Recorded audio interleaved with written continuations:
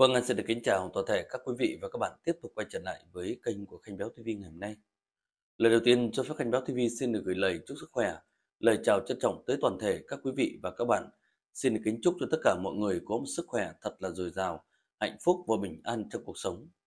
Đến với video ngày hôm nay thì Khanh Béo TV tiếp tục cập nhật lễ tang của cháu du xe Đào Đức Dũng.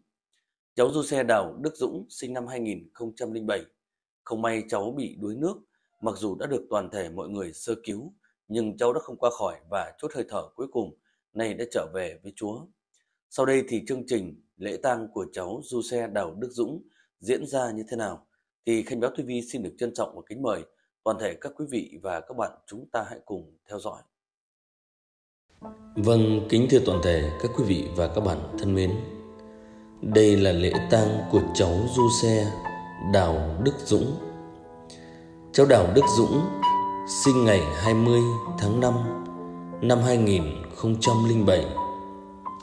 Không may, cháu gặp đuối nước và đã không qua khỏi, đã chút đi hơi thở cuối cùng, nay đã trở về với Chúa, để lại cho gia đình, bố mẹ, cho tất cả người thân một nỗi xót xa vô hạn, không có gì có thể bù đắp được Kính thưa quý vị, cháu du xe Đào Đức Dũng thì hiện nay cháu đang sinh sống tại giáo xứ Trung Đồng, xã Nam Trung.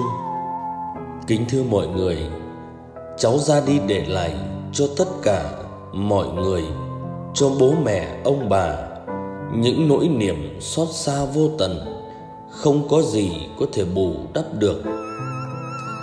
Biết bao nhiêu những công lao vất vả của bố mẹ. Cả một cuộc đời đã dành dùm và để nuôi cho cháu cho đến ngày hôm nay.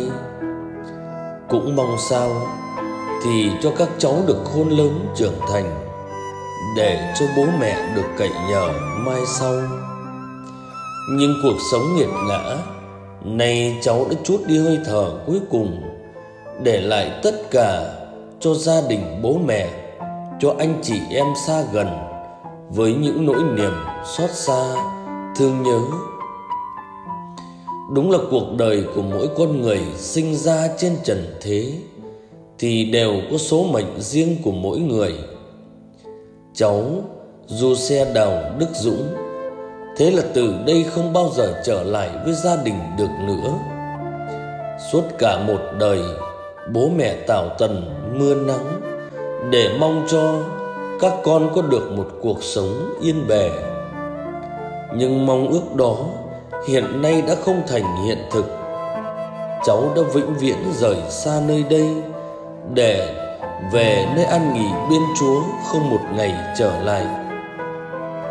Lúc này đây, thật sự tất cả mọi người ai ai cũng đều trở về để cùng nhau làm lễ khâm niệm và cầu nguyện, đồng thời tiễn đưa cháu nốt chặng đường cuối cùng của cuộc đời.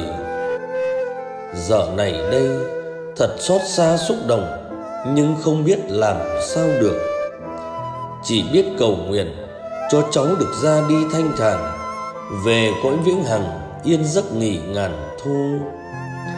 Cháu ra đi thì cháu hãy che chở cho tất cả bố mẹ, ông bà, cho mọi người luôn luôn được mạnh khỏe, luôn luôn được bình yên.